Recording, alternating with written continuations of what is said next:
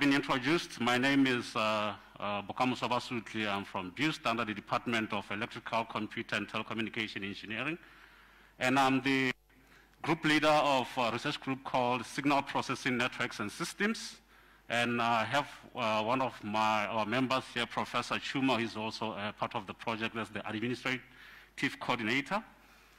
Um, I'll be presenting to you this proposal, uh, the project itself, or what it entails. Um, before I continue, allow me to sell the essence of the project. If you look at the logo of the project, you have Botswana Sat and you have a tree and a satellite hovering over it. We know that back in the days, our forefathers, they sat under the trees and discussed engineering and science projects, but they never went to school. They built bridges and they did wonders through negotiations, through collaborations, whether or not, whether seeing eye to eye, but they still managed. Um, me now, can you, okay.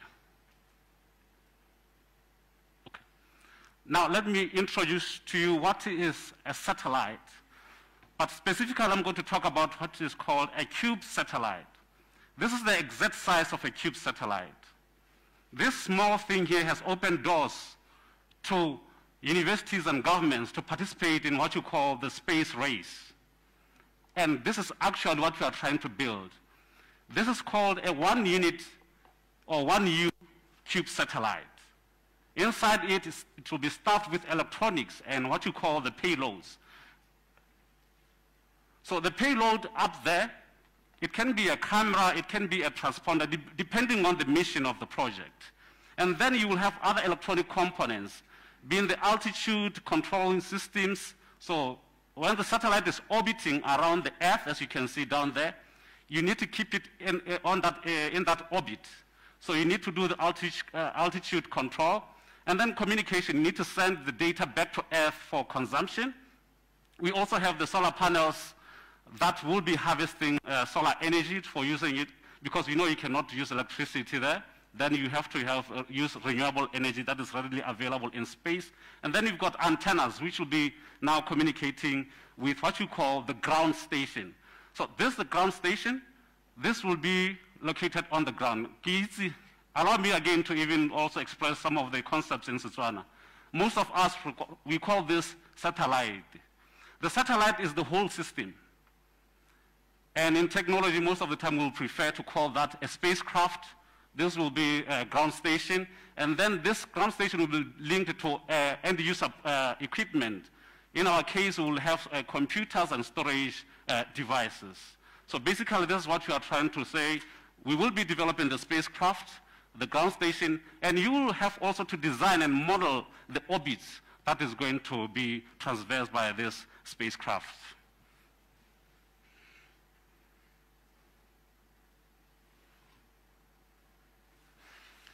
Now, the, the project objectives. The mission of the project, we are aiming to address the challenges in agriculture and tourism. So during the course of this presentation, I will lean towards agriculture, but you'll find that most of the applications are readily applicable to tourism. Uh, so one of the first objectives is to design a CubeSat. We will design it in-house in BIUST.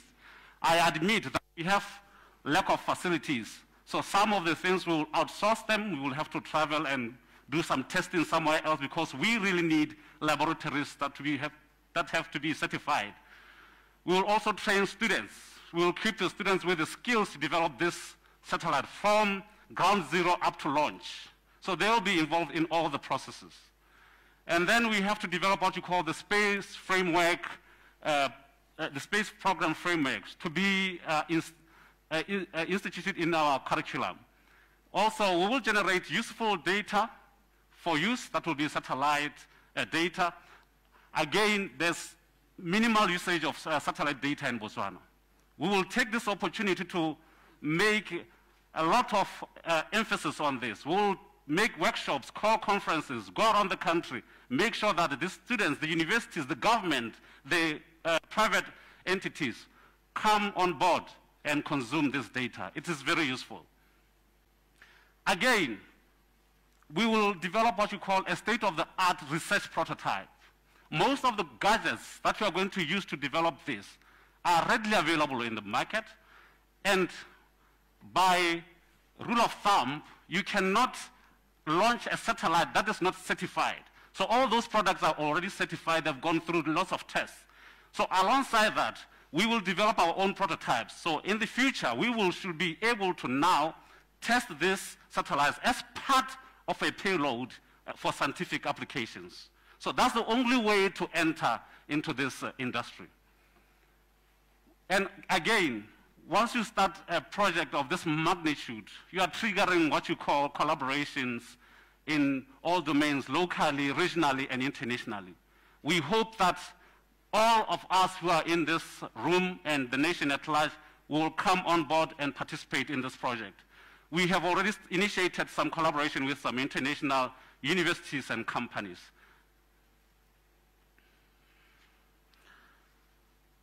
One, I know the question that is now we are pondering over, what can this small thing do? Imagine if you lose a key to your house.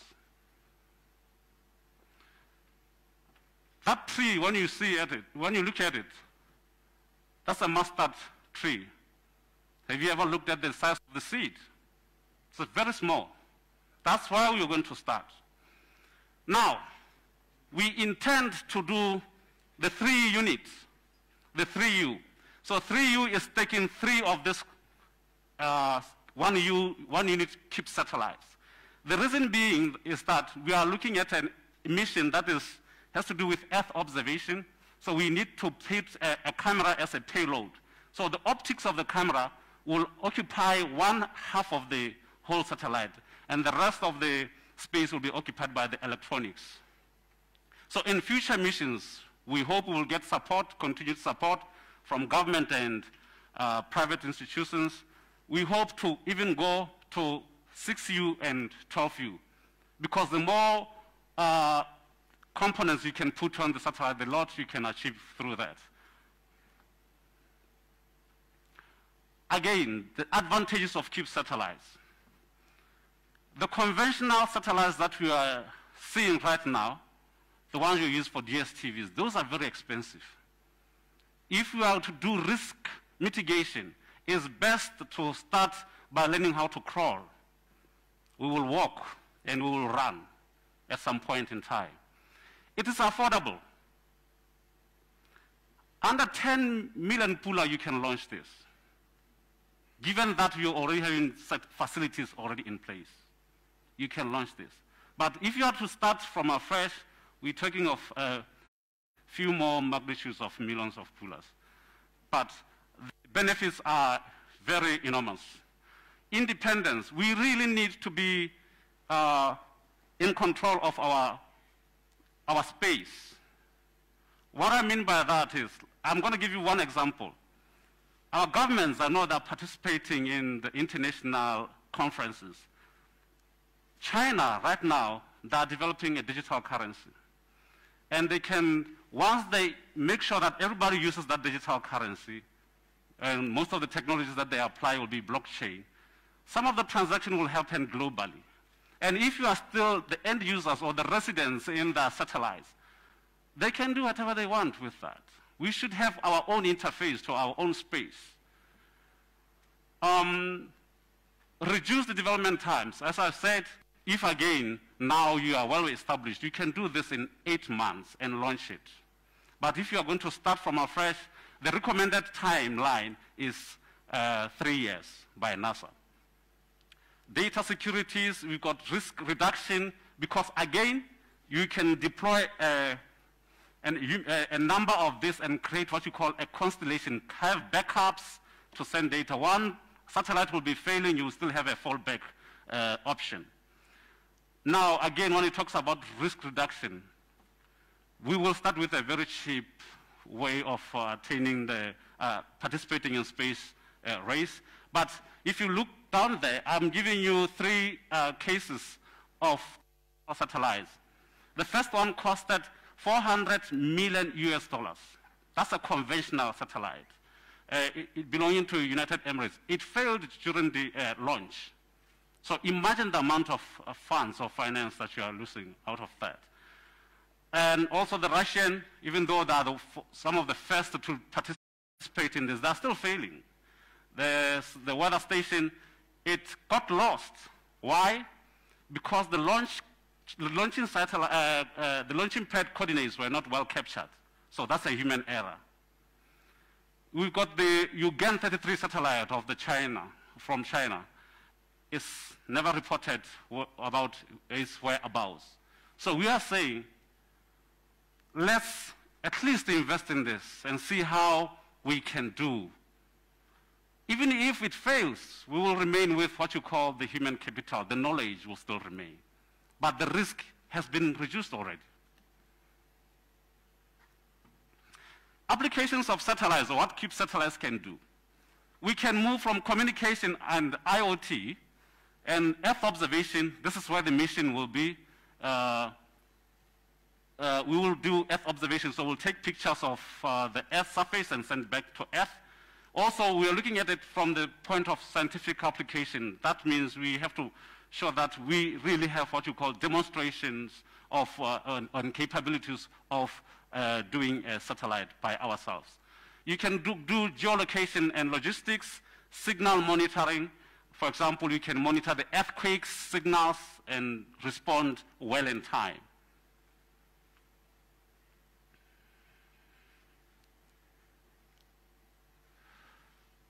Some of the applications that are now trending, the digital globe uh, is providing Uber with what you call 30 centimeter resolution. So if you look at that figure, it's a 30 centimeter resolution image. You can, when I say 30 centimeter, one pixel is 30 centimeter. So you can even see the road markings. The time we acquire what you call self-driving cars, you need to be always up to date with all these changes that are going on within the city. Every day you come to Gaborone, there's a some development going on. So if you imagine have self-driving cars, it's not well informed, what will happen? Accidents. And during the lockdown, while we were in our rooms, SpaceX launched up more than 100 satellites to do with the Starlink project, that is to provide internet. And I know the astronomers can now see it. They're complaining about the constellation is visible on the, in the skyline.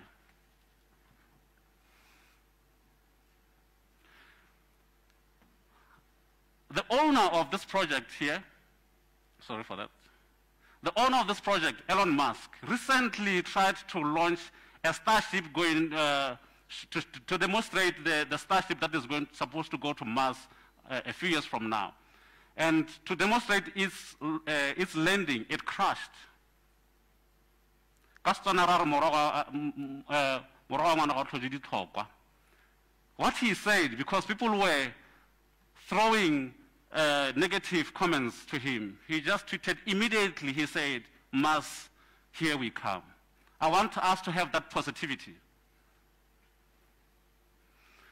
So the impact of this project, we know we have the United Nations Sustainable Development Goals, which are cascaded down even up to the HRDC NDP 11 Botswana Vision 2036, it also been adopted by the AU Agenda 2063 and the STISA 2024. Some of these goals, we are going to achieve them. And you are saying we are going to contribute to about 12 of those. You can imagine no poverty. If you can have a system that can recommend to you that uh, you're going to have about uh, amount of this uh, amount of harvest, then prepare for uh, surplus, surplus, so that you can sell outside or prepare for shortage so that you can import uh, well in advance. So we can do a lot with that system. Quality education, gender equality, part of the project, we are not just going to sit back and involve only gentlemen. We have a ratio of gentlemen to ladies also. Um, so the, in, in the technical uh, technology or telecommunication arena, we have what we call the 6G research and development. We know that 5G has been launched in other countries. Right now, we are collaborating with the University of Oulu in Finland. They are working on 6G flagship. They are the one who is housing that. um, we are seeing these people, if you look at the economic benefits, is very uh, impressive. So we are saying we have learned some of, through the hard times, especially what, during the COVID-19 pandemic, when borders were shut, when aircrafts were grounded, our tourism industry was in struggle. What about the food supplies we get from South Africa and other neighboring countries? So we need to go back and make sure that we revive our ag agricultural industry and the tourism industry. We can maybe offer what you call visual tourism. That will be lovely. Now, going forward, I'm saying, I'm appealing to the government, the private sector, and all other institutions to aggressively invest in research, development, and innovation.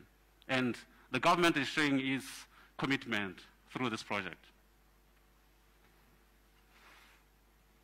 Just to give you a snapshot of what is happening around the world. Some people might say, oh, we can get free data from somewhere else. I'll be telling you that if you do that, you are simply selling jobs to other countries. You are telling me any student or any of our kids who's interested in space technology, for him to be in a good position to participate in that industry, they need to relocate. Are we saying that? I say no. Look at Africa. All the countries that are painted blue, they have satellites, and you see numbers marked on them. Africa. South Africa has got about four satellites. Next year, they'll be launching more satellites. Together with Angola, Tunisia, and Egypt, and Botswana, we are still here. Yes, we will build a business case out of this, but I'm appealing to you, let's appreciate this. 1956, the first satellite was launched. Now, people never thought of its uh, impact on the world.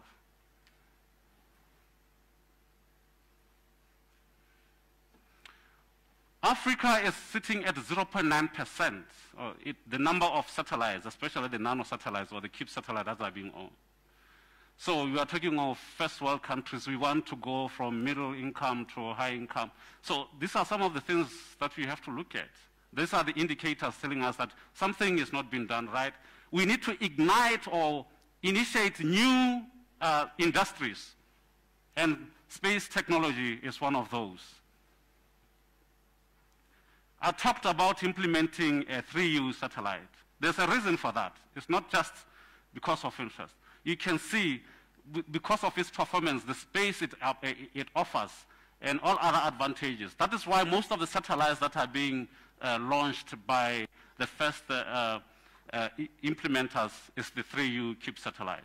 Our fallback, if at all we lack in terms of funds, will be the 1U.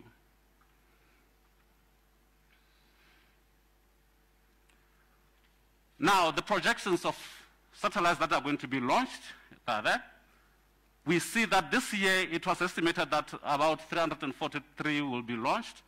In total, that's around 437. Some were delayed because of the COVID pandemic, and we see 435 expected next year. How about 2022 and 2023? Can we be part of those? I say yes, if we do everything collaboratively, giving support to each other. It's not only about sending a satellite to space. Look at the number of companies created ever since the launch of nanosatellites. We missed this peak. We missed it. But I'm telling you, according to projection, there's another peak coming. Can we reap the benefits of that? I said, yes, we can. Now, the common methodology of uh, harvesting the data or consuming this data, we will have the data and we will have the engineers sitting there doing the software and systems engineering. They will do all the statistics and measurements, models. Knowledge and expertise will be applied. And on the other side, you will have models that are readily available to instill insights. We will have well-informed decision making. Imagine right now there are some torrential rainfalls up in the north. There's a locust coming this way. We don't know where they are. we could be responding well in time before these things happen because of these images. Now, I'm just going to, because I told you I'm going to lean towards agriculture, you can really see some of the uh, uh, applications. If you look to the far left there, you see tractor. We can monitor whether you are uiraher. We can monitor the biomass estimation, crop spatial heterogeneity. At the bottom there, you see a paddock farm, some parts in being in red, some in being in green. The green is just telling you that after you do all this machine learning algorithms, running all this, and you get inside, now the computer is telling you, okay, the green patches there, you can now take your cattle and go and feed them from there. The red zones is either you have chemicals still active or maybe the crops are still growing. So wait a minute. So the impact on agriculture is, it, it, it starts even from crop choice. We can determine whether this crop is performing better maybe in Pandamatenga or in Barolong farms. So we will have recommended lists of seeds to distribute across the country. Cultivation, precision farming, and then we also have harvest. You can predict how much harvest you're going to get, and then plan well in time on storage and logistics. We can say, no, let's close the borders well in time because those are very, peri uh, very uh, perishable goods. So we should have this kind of well-informed decision making. And then it cascades down to business management until it reaches the market. There's a lot. There's a plethora of benefits out of satellite technology. There's a lot food security indigenous knowledge um east north o east o if we can instill some of this knowledge in our algorithms we can separate ourselves from the first world countries mothala wa kgomo gore eh, kgomo e hitile mang if we have we can capture that resolution and instill it in our algorithms we can separate ourselves from them global markets penetration, applied research. We are talking of quality education, knowledge-based economy. I mean, the list is endless. I just put a few. I know you can jot more down. Now, the approach or the business process model. First of all, the first six months, we will do what you call the feasibility study. Okay, from the research point of view, we are done. Just because this is a national project, now we have to make sure that the nation appreciates what we are really doing. We are giving ourselves six months to do that. And then we also, during that six months, we have to sit down with all the relevant stakeholders, do what you call uh, uh, system requirements and uh, get the, the, the, anticipations of out of this project so that we can have those as inputs to our, our project. And we'll have cross-sectoral and uh, collaborations for uh, implementing the project. Out of the project, we are going to have new technological solutions for agriculture and tourism industry. We will have short-term and long-term uh, impacts. For example, the short-term impact, we will have uh, research publication, research prototypes that will be released within, when I say short-term, I mean two to three years from now. And the long-term, you're talking about knowledge-based economy. Because throughout all these processes, training and knowledge, uh, knowledge transfer will be active. So this is the timeline of Botswana Sat 1 project. We will start with the mission definition.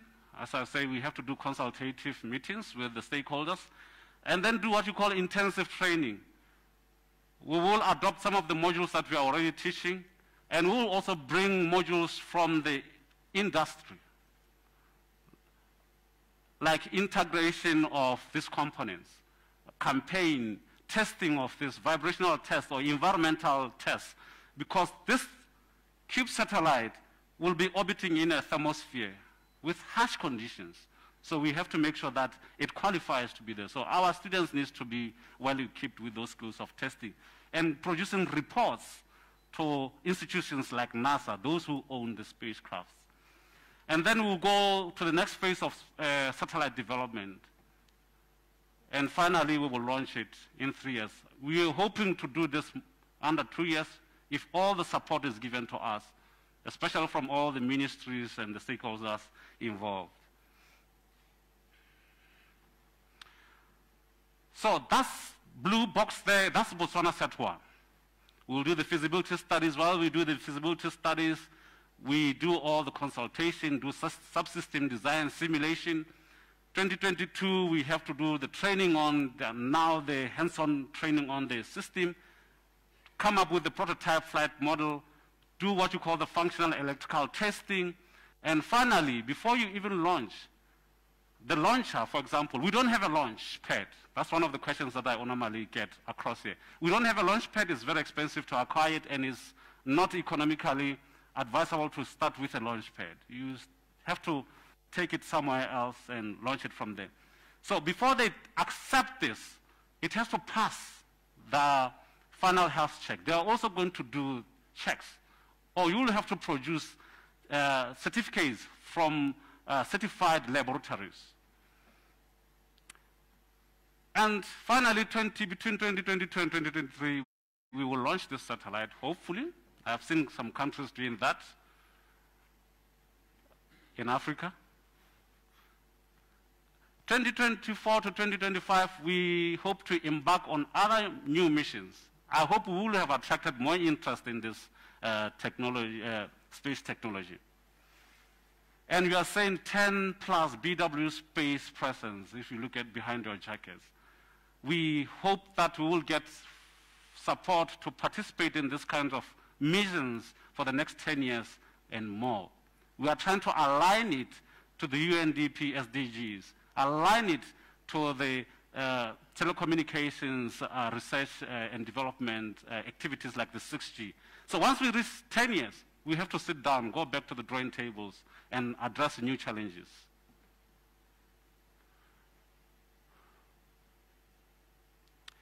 So what are the deliverables?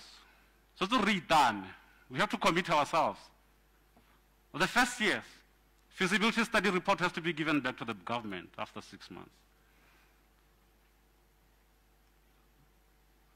The stakeholder consultations, we have to show evidence that we have consulted everyone. Business case report, the mission definition, and we show also train researchers. Frequency slot uh, uh, application should be done. The ground station design and the site identification satellite model, we should have a small uh, model on a breadboard. Year two, we have to implement the ground station, prototype flight model, do all the tests, start to do publication in high-ranking journals,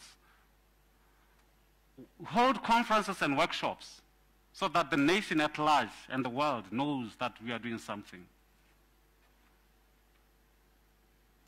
And then the final year, aiming to go to a launch, we do the final checks reports, uh, also more publications, and we expect to get more than five graduates out of this from, with masters and PhD.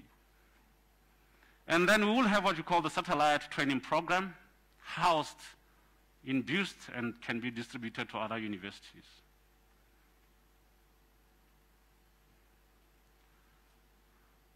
Are we going to do this alone? No. If you really want to be the best, you have to work with the best. If you compete with the best and you don't have the financial muscles, the knowledge, and all everything, you will fail. Collaborate. So our sponsor, Botswana government has given its commitment to sponsor this project through the Ministry of Tertiary Education, Research and Science and Technology. We have the first collaborator, the University of Oulu that I have mentioned. We have the MOU and MOU with them. Um, they're already having one of our students is doing PhD there. They're offering you free uh, tuition fees. And you get access to all the facilities. They have got the 5G network in their labs. They've got the uh, access to Nokia infrastructure. We've got the AFCONSAT network. That's the African Constellation Satellite Network. We are a, a part of, we are a member of that team. The aim is to bring 10 African countries to develop their own satellites. So we are sharing knowledge through that. One of the countries that is leading this is Ghana, and one of the leading engineers there was working for NASA. He's coming back to Africa and instill knowledge to other African countries. We have the Signal Processing and Networks Research Group based in Loughborough University. That's where I schooled. They do advanced signal processing algorithms, so in terms of algorithms, we are also covered. We have the Loon, this is a private company in USA that operating what you call the stratosphere communication uh, gadget. It's more like a satellite. You know the hot air balloon? So they pump it, it will be flying over your country and providing internet or GSM uh, services, you name a lot. We've got the National Astronomy Research Institute of uh, Astronomical Institute of Thailand, NARIT. I have two master students who went there for attachment. They are not even bringing them back. They have given a, them extra one year because the, their performance is very impressive. So right now they're dealing in a 40-meter dish telescope to observe uh, the stars. So I would like to end by saying thank you, and I hope the story about the tree Hota, Morero, Bukopano, we will achieve a lot. Let's use technology for good. Let's conquer the world with food. And again, let's preserve what God has given us, the natural resources. Happy holidays. Thank you.